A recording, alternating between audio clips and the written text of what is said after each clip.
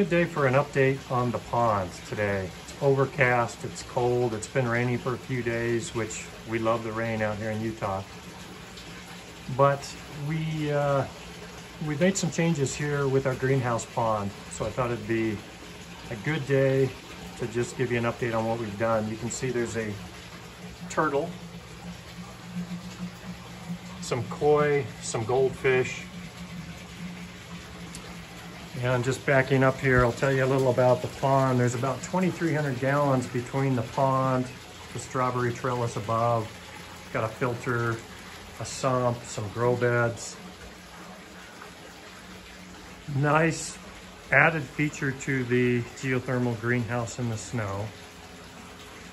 We absolutely love this pond and love turning on the Bluetooth, listening to some music from my generation back in the 80s and just staring at this window and watching these inhabitants. We used to have rainbow trout and we had planned to put trout back in here. But we ultimately decided not to.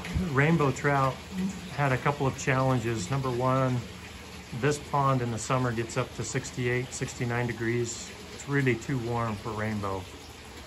Other challenge is that they're jumpers. We had a couple of them jump out of the pond. But we don't like that. They don't like that. They're not very social, tend to hang out on the bottom. They did get pretty big.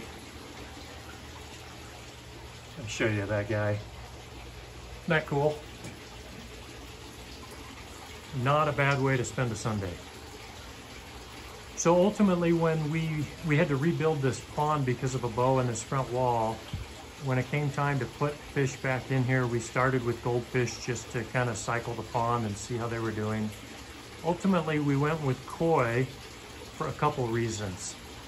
Number one, they're very social. They will hang out by the viewing window. They will interact with us. They get big. They're very colorful and they have been fun to have around. We've had them in here for about a month now. The downside to the koi versus rainbow is you're not going to eat koi fish because it's a type of a carp. But we don't intend to eat the fish. They're just here for us to enjoy them and hopefully for them to enjoy this pond. And so my thought is we do have a pond on the outside of this greenhouse if we have too many or they get too big, we can move them between ponds.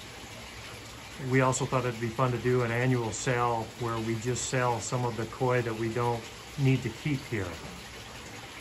So it'll be a journey. We'll learn a lot.